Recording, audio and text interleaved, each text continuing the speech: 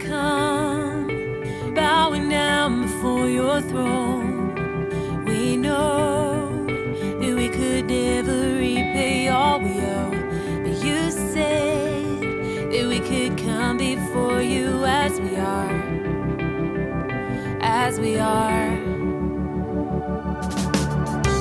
Welcome. The following is a presentation of the Heart to Heart Bible Study through the Gospel of John. More information about this study is available on our website at www.refugefamily.com. Your sacrifice has made us cleansed and free. We are free. So, I am excited about this study. I am so excited about the book of John. In fact, um, I have it further on in my notes that uh, a lot of other people apparently are very excited about the book of John as well. I was listening to Dave Rolfe on uh, Sunday morning, and they are starting this year going through the book, the Gospel of John. Um, um, who else is um, the men's study is going through the book of John. They're already in chapter three, and uh, the re, re, response, the college group, is going through John. So I think God must be saying something to us about this book.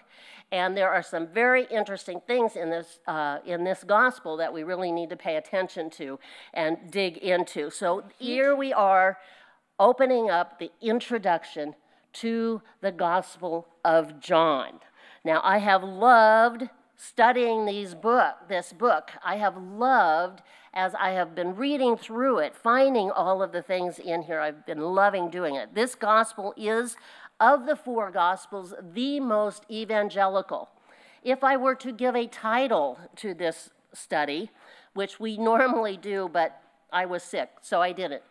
Um, I would title this simply Believe, because that's what the Gospel of John is. It is written so that you might believe that Jesus Christ is the Lord, that he would be glorified in your life. And so there are a lot of different things in this particular book.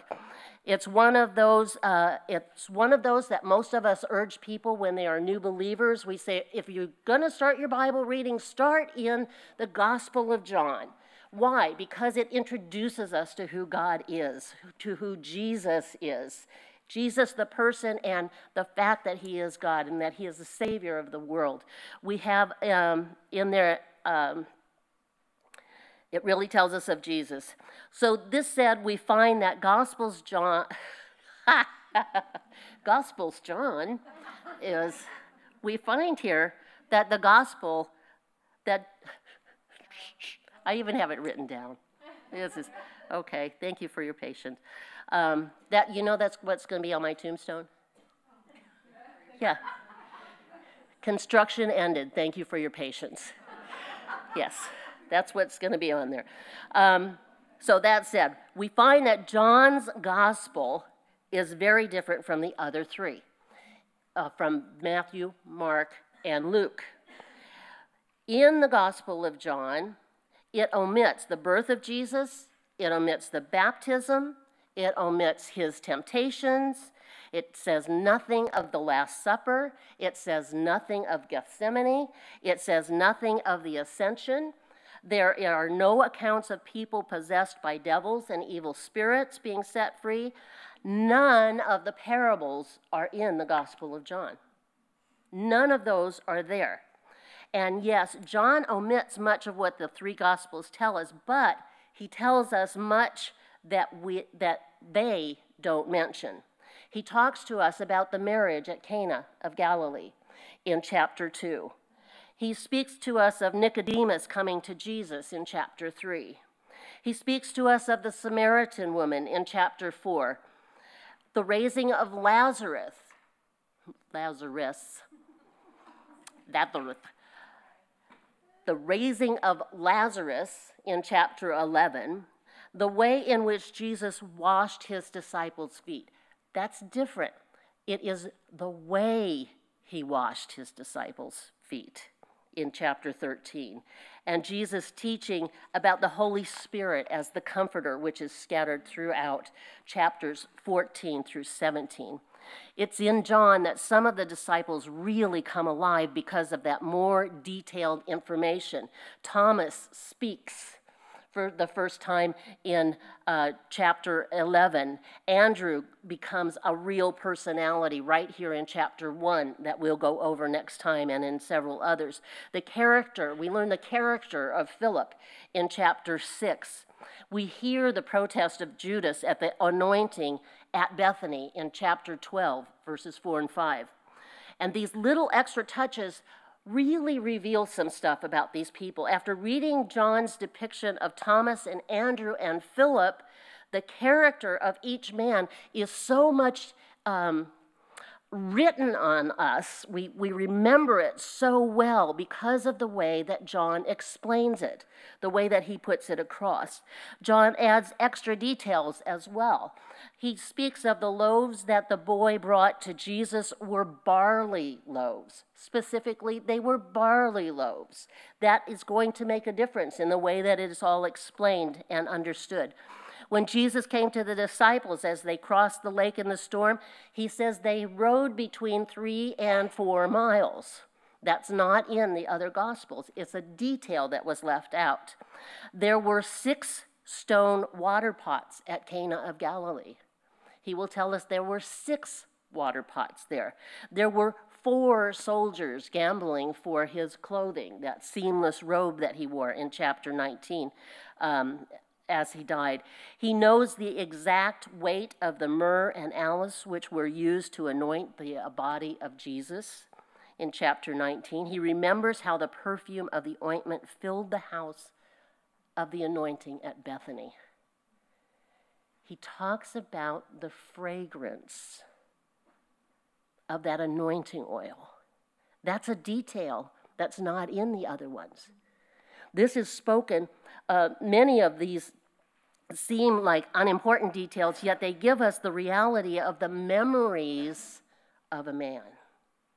The memories. Last night, while I was studying, my husband wanted to know where all of our pictures are. Could I get out all of our pictures? So while I was studying, I got out all of our pictures. Um, we have so many printed pictures, and um, so I, we got those all out, and he was sending them copies of them to all of the kids and to me, and uh, which is really a good reminder to him and others who save all of your things on your computer. Print some of those prints out. Print some of those pictures out because as we looked back on those things, those memories came alive. And so that's what we have in the book of uh, the Gospel of John here, those memories coming alive. Uh, he was a man who had been with Jesus over the course of three years. Now, the other, uh, the other three disciples, or the other three um, gospel writers, only talk about the time from um, John the Baptist. So they only talk about one year. But John will talk about three different Passovers. So we'll go into that, that, that following of him for three, uh, for three years. He had been with him. Yet we find that none of these memories are about John. John's name, as you know, is not in this book. There's nowhere in this book. He refers to the, the disciple that Jesus loved. He refers to himself in different ways, but his name is never mentioned. Why? Because this gospel is not about John. This gospel is about Jesus. It is all about Jesus. And I think that that's why everybody is teaching right now this particular book, because we are in a place, ladies, we are in a place in this country where we have people who want to take off in God we trust off of our money. They want to take off every mention of God. They want to take crosses out of everywhere, every sign that Jesus ever existed. We need to stand strong against that.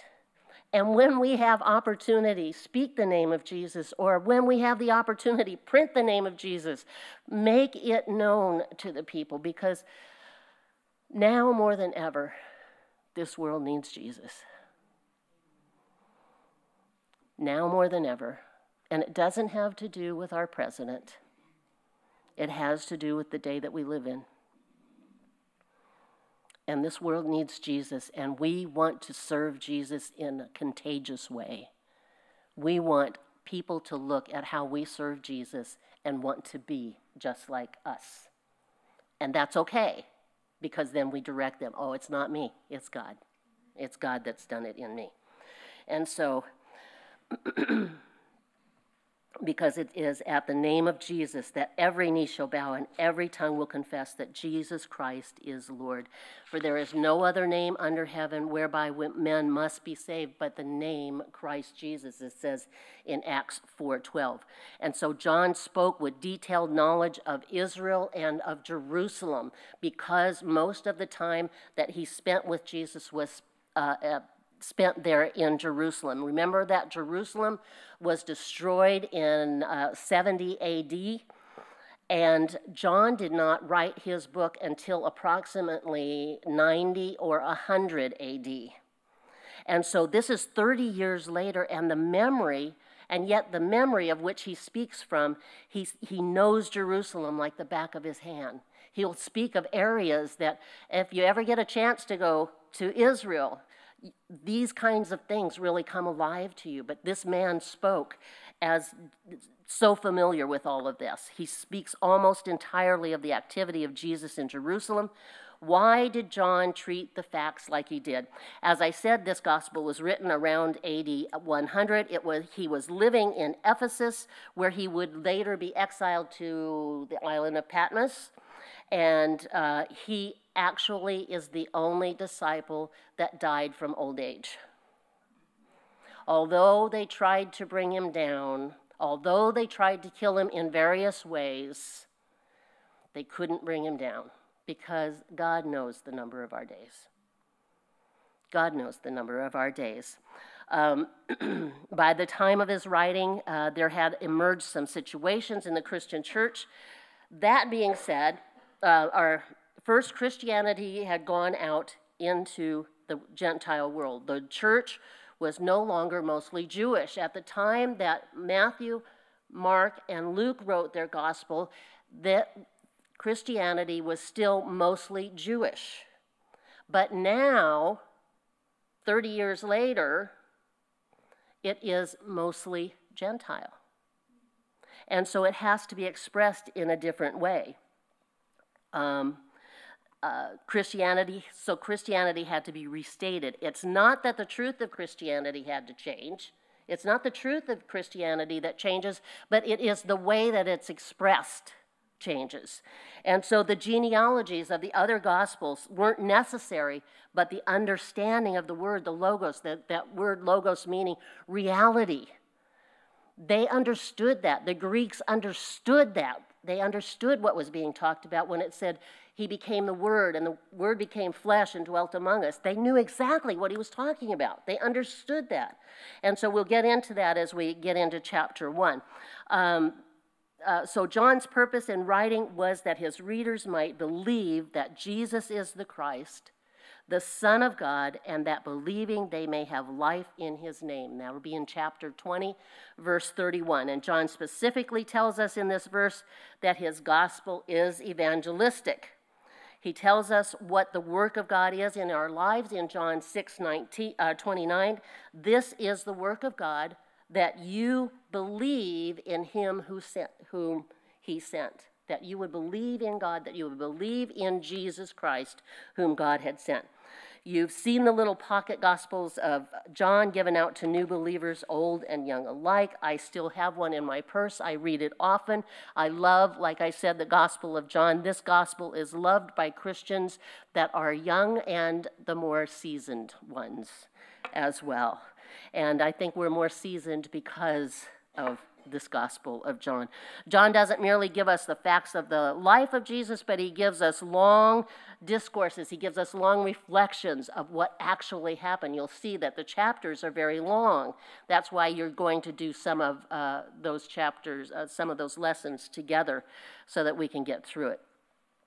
Uh, this is the John who tradition tells us would be brought in on a stretcher at uh, close to the end of his life. He would be brought into a group at the end of his life on a stretcher and to speak to the Christians that were there.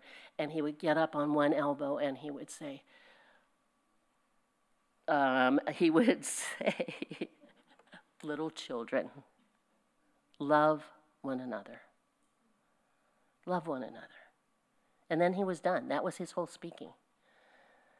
Just love one another. Love one another as Jesus Christ has loved us. His gospel contains the best known verse in the New Testament. You all know it, don't you? You all know John 3:16. That's part of your homework memorization of John 3:16. For God so loved the world that he gave his only begotten son that whosoever would believes in believe in him should not perish but have everlasting life. And I can tell that some of you have learned it in the Old King James like me. Some of you have learned it in New King James. Some of you have learned it in the Living. Some of you have learned it in the different translations. It all says the same things, and you have it memorized, and that's fantastic.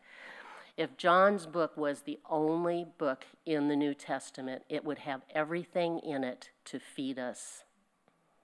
If it were the only book there's enough there for a lifetime of study, and we only have 16 weeks to go over it.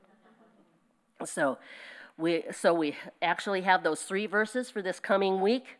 Uh, the first one is what we spoke of, John 3:16, and then there are in in our first time together, it's going to be the whole chapter of um, the whole chapter one. So you're going to be doing two lessons that cover verses 1 through 51 okay? And that is on your schedule, so it should be clear as mud. So, so we'll be covering that first just and just remember that as you read through it, pray first. Ask the Lord to give you what you're supposed to get from this. Let Him speak to you. Invest a lot of time in listening and trust the Lord to give you this. And remember this God loves you. Love Him back. Okay? Lord Jesus, I thank you, Father, for our time together. Lord, I pray, Father, that you would just cause us, Father, to, um,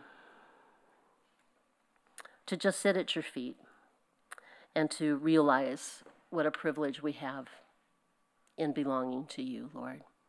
We don't want to spend a, a moment, a second without you in any areas of bitterness or anger or or whatever it is, Lord, that's in us that uh, keeps us from walking closely with you, Lord. I pray, Father, that you would just fill us with all that you have for us today, Lord. Help us to submit to your guidance and to trust you, lean to lean on you with all of our heart. I thank you, Father. And Lord, as the ladies get into their groups and get to know each other, I pray that you would bless their time together and that you would be glorified, Father. In Jesus' name, amen. So, giving up, letting go, standing up, stepping out, walking on